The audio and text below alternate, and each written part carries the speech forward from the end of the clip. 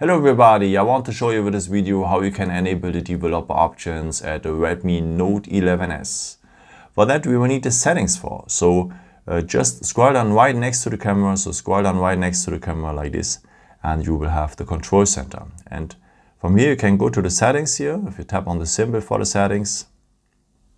And now we will need for the developer options the first point here about phone.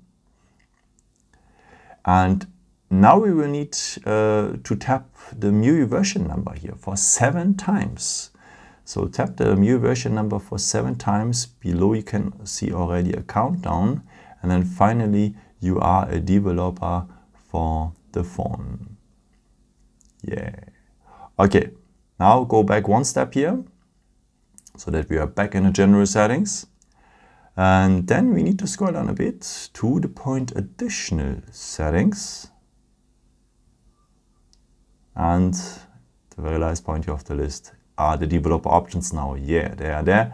And um, now you can do the stuff you wanted to do maybe, you know, to enable the stay awake mode, to use USB debugging, oh, so, so, so much more. You have many options here.